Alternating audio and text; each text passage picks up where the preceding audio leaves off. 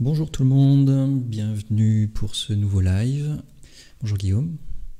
Eh, bonjour Pierre, bonjour tout le monde. Comment vas-tu? Eh ben, ça va pas mal, ouais. Et toi? Ça y est, t'es bah rentré? Oui, ça y est. bien? rentré à Annecy. Euh, bon, on a fait une petite pause d'une semaine euh, avec le lundi de Pentecôte, donc nous revoici euh, sur la, série en direct à propos du kératocone. Euh, on va essayer d'aborder aujourd'hui l'adaptation en lentilles rigides cornéennes, donc les, petites lentilles. Vaste sujet, on va essayer d'être euh, concis, un peu précis, et puis euh, n'hésitez pas à nous poser des questions dans les commentaires, même en, replay, on essaiera d'y répondre, ou recontactez-nous par mail pour avoir un peu plus d'informations, parce qu'on ne va pas pouvoir parler de tout aujourd'hui. Ça risque d'être un petit peu dense. Donc, euh, la gamme rigide cornéenne chez Swisslense, euh, elle s'appelle Flexcone. Il y a ces lentilles-là, mais on va voir qu'il n'y a pas que les Flexcones pour adapter sur un, un. Ça va dépendre euh, du stade essentiellement.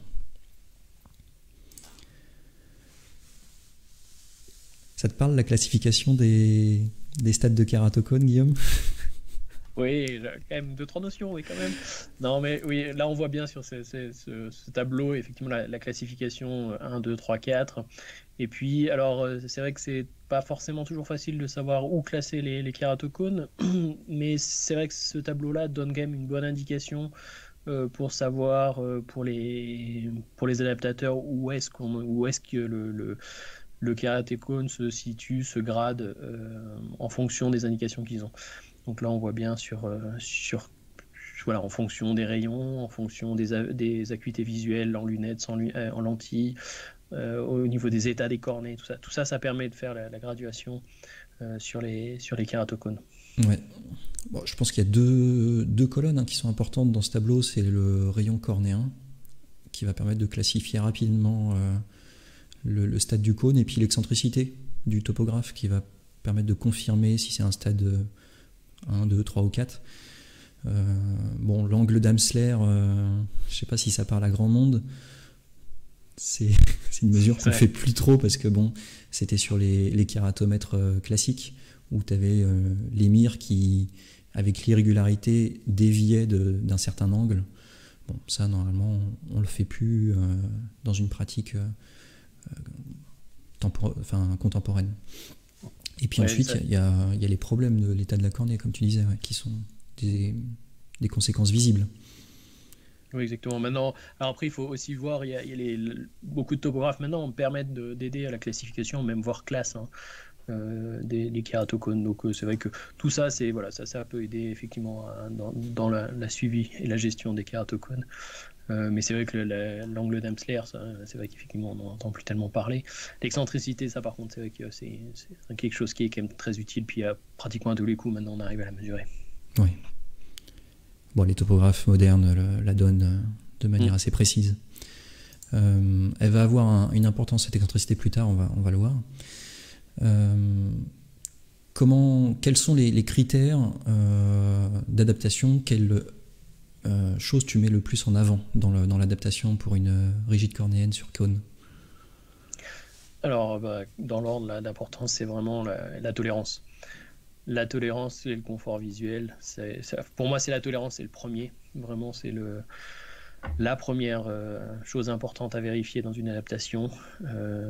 pas de souffrance cornéenne. on, on, est déjà sur une cornée qui est quand même un peu qui est déjà déformée de, par sa nature ne pas voilà c'est indispensable pour moi euh, de voir la bonne tolérance des lentilles ensuite le confort visuel c'est voilà c'est de toute façon un, porteur qui est orthoconique euh, il ne supportera pas s'il voit pas bien enfin il, vraiment il supporte pas du tout euh, ça c'est les deux premières choses pour moi qui sont les, deux plus importantes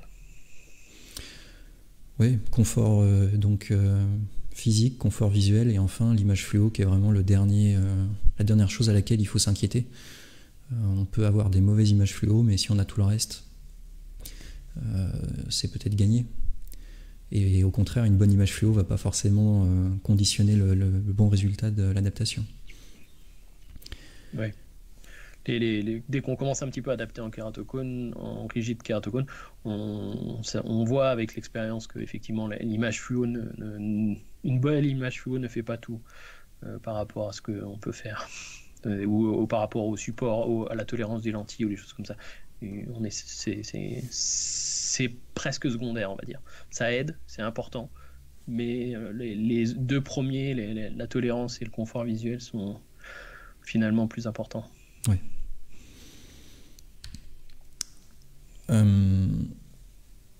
donc, en fonction du, stade du cône, on va, choisir plus ou moins la géométrie euh, de la lentille rigide.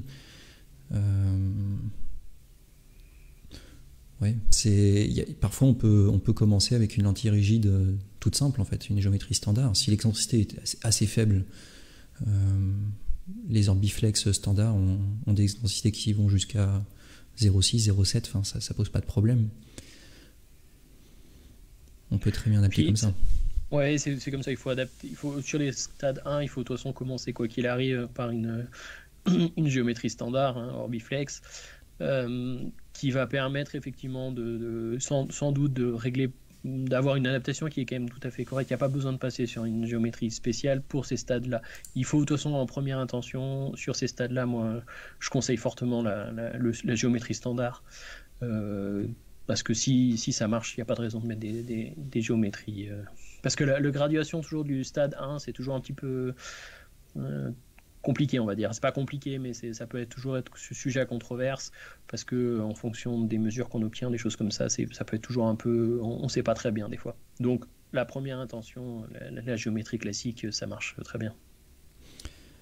Oui, il y, a aussi le fait que c'est souvent euh, monoculaire et que si on n'adapte qu'un œil parce que l'autre ne le nécessite pas, euh, le porteur n'est pas très motivé à, faire cette adaptation et à, sentir la lentille sur, sur l'œil. Donc on, en a parlé la, fois précédente, mais euh, hydrocone, qui est une lentille souple pour kératocone, ça peut être euh, pour les stades les plus faibles, stade 1, voire vraiment très débutant, être la, bonne alternative plutôt qu'une lentille rigide cornéenne.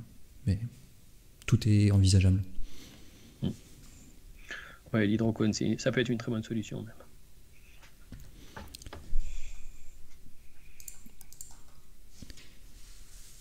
Bon, pour les, stades les plus un peu plus avancés, stade 2, 3 et même euh, au-delà, on va avoir deux géométries phares en, flexcone. Euh, donc flexcone ASP, flexcone SMS qui ont deux géométries un petit peu différentes. On va, on va voir un petit peu euh, comment, comment choisir l'une ou l'autre.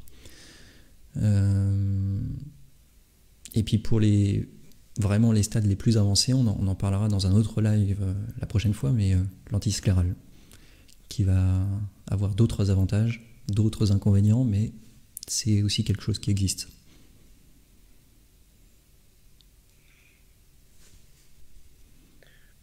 Ouais, sur le sujet-là, je pense que voilà, on, part sur un truc, euh, sur les, géométries, la SP, la SMS, c'est deux géométries qui sont très complémentaires, on va les voir plus loin. Euh, et puis on voit, on arrive à avoir des excentricités de, jusqu'à 1,3, ce qui est quand même euh, déjà sur, les, sur des sclératocones qui est déjà pas mal avancé. Donc ça permet vraiment d'avoir une, gamme d'adaptation très complète. Et puis après, effectivement, on parlera la prochaine fois de la, sclérale, qui est euh, très différente, euh, mais qui résout plein de problèmes. Bon, le type d'adaptation en, lentille rigide cornéenne, euh, c'est selon les cônes que vous allez rencontrer, selon les géométries des lentilles que vous allez utiliser. Il, faut, il faut être ouvert d'esprit. Euh, vous pouvez faire une adaptation en deux points, donc on voit la, lentille qui, euh, qui appuie uniquement sur la, périphérie de la cornée, en trois points qui appuie donc en périphérie et au sommet du cône légèrement, et enfin les adaptations en un point qui sont très particulières euh, dans, le cas de cônes très centrés comme les, les nipple cônes. Oui, puis c'est important aussi, nous, quand vous discutez avec nous, le service technique, c'est important de nous préciser un petit peu ce que vous attendez aussi, parce que euh, je me suis, on s'est aperçu que certaines personnes euh, avaient un, type de d'appui de prédilection. Il y en a qui ne jurent que par le 3 points ou le 2 points. Pas de problème, euh, mais simplement il faut nous le dire quand vous nous envoyez des, vous nous demandez des questions, parce que euh, ça s'adapte pas tout à fait de la même façon, même si voilà. Mais c'est bien de nous le préciser ce que vous attendez, et du coup on va pouvoir vous guider en fonction des géométries des lentilles. Ouais, c'est de toute façon toujours un échange entre le service technique et l'adaptateur qui est euh, en face du, porteur. Euh, essayer de trouver le, bon accord en fait entre, entre vous deux.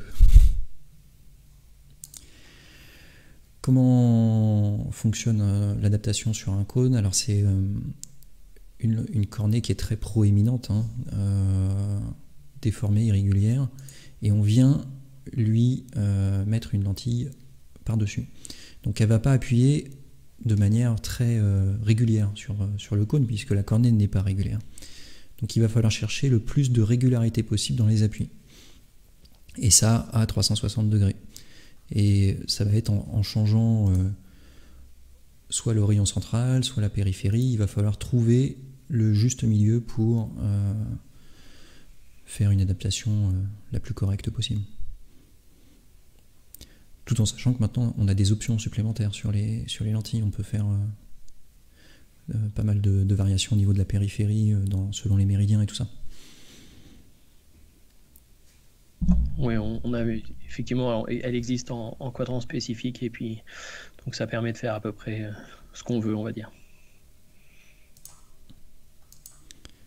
Et donc tout ça, ça correspond à la flèche de la lentille forcément, en fonction du diamètre ce qui est primordial, je pense, en lentille rigide cornéenne à adapter sur Keratocone, c'est le, topographe. Hein. C'est euh, nous envoyer la topographie si vous le pouvez, pour qu'on puisse déterminer la géométrie la plus juste possible. Ce sera toujours plus fiable que uniquement la kératométrie d'un auto-kératomètre. Oui, c'est très important la, topographie parce que même avec les mesures centrales, on arrive un petit peu à comprendre ce qui se passe, mais vraiment là, on typiquement sur les, sur les, sur les maps, on, arrive beaucoup mieux à, appréhender comment va se positionner la lentille, euh, quel type de géométrie on va devoir choisir aussi en fonction de ça. Euh, donc ça c'est vraiment voilà effectivement la topographie si on peut vous pouvez nous les envoyer euh, en plus on a à peu près tous les logiciels qui permettent de les lire, quel que soit le topographe. Donc ça, c'est vraiment, ça permet vraiment d'avoir une discussion complète et puis vous vous aider sur ce, sur ce genre d'adaptation. Petit conseil sur la, topographie, hein, mais je pense qu'il y aura un, live dédié euh, à l'utilisation des topographes. pensez à changer vos paramètres de carte, passer du mode axial, sagittal au mode euh, instantané, tangentiel, selon le topographe que vous utilisez, les termes sont un peu différents. Euh, puis euh, sur les cartes d'élévation aussi, ça peut être intéressant. Vraiment naviguer dans, toutes les cartes disponibles de la face antérieure et pour comprendre comment, comment est l'irrégularité et comment on peut essayer de la, compenser avec la lentille rigide. Ça c'est pareil les, cartes d'analyse c'est intéressant. Moi, je fais souvent une analyse de Fourier pour, euh, pour trouver un, rayon sphérique euh, sur un, diamètre. Ça, c'est mon premier, premier rayon de, prédilection pour euh, essayer une lentille. Voilà, c'est des petites, petites astuces pour, essayer d'avancer un peu plus vite dans l'adaptation. Quand vous avez choisi votre, euh, enfin vous avez fait votre topo, vous pouvez choisir ensuite les, géométries des lentilles en, image fluo et vous pouvez donc simuler l'image fluo et l'observer, euh, vérifier que ça correspond bien à ce que vous avez sur, sur votre, derrière votre lampe à fente. Et puis on peut voir qu'on a une correspondance entre les, trois images et donc euh, trouver quelque chose qui, permet d'avancer dans l'adaptation les deux géométries, euh, du coup, ASP, SMS, euh, comment, tu choisis vers laquelle tu te diriges? Alors, pour moi, la, vraiment, l'ASP, ça, permet pour les cônes, on va dire, un peu moins évoluer avec une excentricité un peu plus basse. Euh, c'est celle qui aura quand même euh, celle qui a le meilleur résultat. La SMS pour les excentricités, enfin pour les, cônes avancés avec des excentricités très hautes, on obtient des meilleurs résultats de, centrage. Euh, comme c'est une multicourbe, c'est quand même plus simple. L'ASP c'est quand même une sphère progressive, donc c'est pas tout à fait la même chose. Alors il y, a quand même deux des points intéressants sur l'ASP. La zone optique est fixe elle peut être modifiée, mais elle est fixe de manière standard, euh, quel que soit le diamètre total de la lentille. Donc ça permet d'avoir une adaptation qui est euh, euh, respectée, quel que soit le diamètre. On commence avec un certain diamètre, on, augmente le diamètre total de la lentille, on ne modifie pas son adaptation au niveau du rayon central. L'excentricité, vu qu'elle est progressive, effectivement, c'est la même chose. donc ça, c'est assez pratique et donc rapide pour euh, changer les paramètres de la lentille en, FlexCone ASP. Et puis comme tu le disais, la SMS elle est euh, multicourbe, donc euh, elle a une force de centrage un peu plus importante et elle sera moins sujette au décentrement sur le cône. Parce qu'on a régulièrement des cônes quand même qui sont en inférieur et donc gros avantage de, la SMS, souvent plus petit diamètre que l'ASP, mais meilleure force de centrage.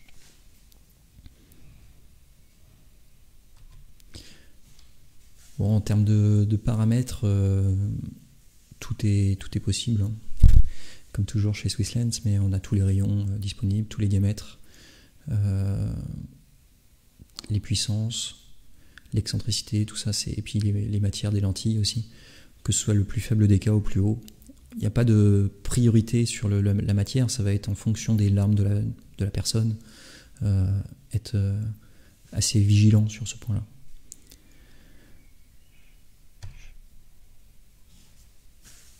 Bon, et puis l'ASP, c'est la même chose en fait, hein. c'est les mêmes, euh, mêmes paramètres, plus ou moins.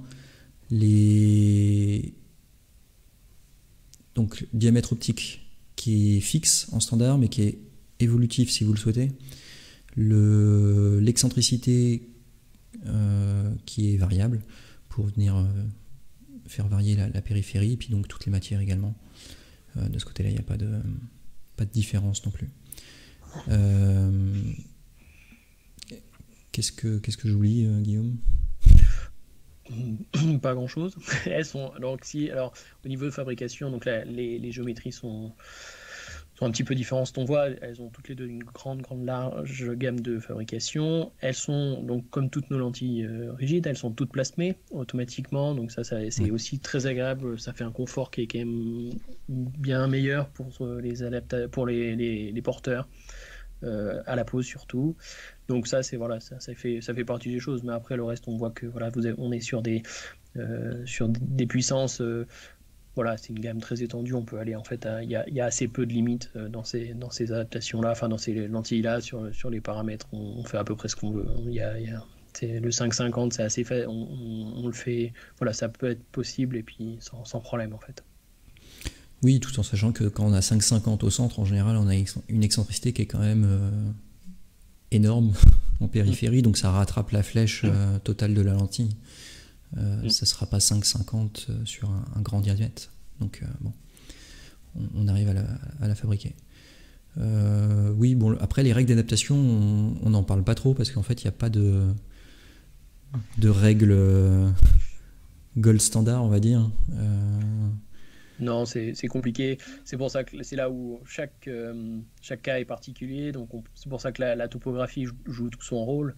Euh, les analyses dessus, euh, comme tu disais, de, Fourier, ça c'est important. Ça nous permet de, vous, de, de, donner un petit peu, de savoir la première lentille, la première intention en fonction de chacun. Ça c'est vraiment c'est indispensable pour, pour avoir une adaptation qui est plus rapide et moins d'essais finalement. Comme d'habitude, hein, on, est, on est disponible au service technique, euh, par mail, par téléphone. Euh, sur ce genre de cas, vraiment, n'hésitez pas à nous envoyer le maximum d'informations, que ce soit topographique, que ce soit photo derrière la lampe à fente, pour que, ou même vidéo. Hein, la mobilité d'une lentille rigide sur un kératocone est intéressante pour qu'on puisse être le plus informé possible pour vous aider. Il faut, faut, faut vraiment pas hésiter à nous envoyer des informations. Euh, effectivement, les vidéos, c'est très intéressant. Les vidéos avec fluo, euh, les vidéos, en fait, même aussi sans fluo, c'est assez intéressant. En lumière blanche, euh, pas trop gros de grossissement. ça, c'est aussi quand c'est trop proche, on voit pas grand chose finalement. Donc, faut pas hésiter à prendre un peu de recul. et puis, et puis voilà, envoyez-nous. Et puis après, on discute. Hein. Vraiment, c'est, on est là pour ça. Et puis, ça nous permettra de, voilà, de faire une adaptation qui, qui satisfait tout le monde. Ouais. Bien, et eh bien, on arrive au bout du, du direct d'aujourd'hui. Euh, bon, on a, vraiment. Une chose. Quand même, on a un petit peu, on a un petit peu euh, les lentilles euh, pour, elles se font aussi en, bifocale, hein, si besoin. Oui, ouais, progressive et bifocale, tout à fait. Exactement. Comme, comme tout chez nous en fait. On essaye, on essaye de proposer le, le maximum pour tout le monde. Bah oui, après, il faut que l'acuité visuelle euh, soit aussi bonne au départ avec une unifocale, mais si on a tout qui est rassemblé, effectivement, on peut proposer le, la multifocalité sur, sur ce genre de lentille. Super, et eh ben, je pense qu'on on a vu à peu près euh, l'essentiel de, de, la gamme FlexCone. Euh, c'est vraiment un survol rapide, hein, c'est pas, pas quelque chose de, de complet, exhaustif sur, sur la question. Euh, c'est pas le but. On, est à votre disposition si vous avez des questions. Et donc, on, vous souhaite une bonne fin de soirée. Et on se dit à, lundi prochain. Oui, à lundi tout prochain. Bonne soirée. Bonne soirée, Guillaume. À bientôt. Salut, Pierre.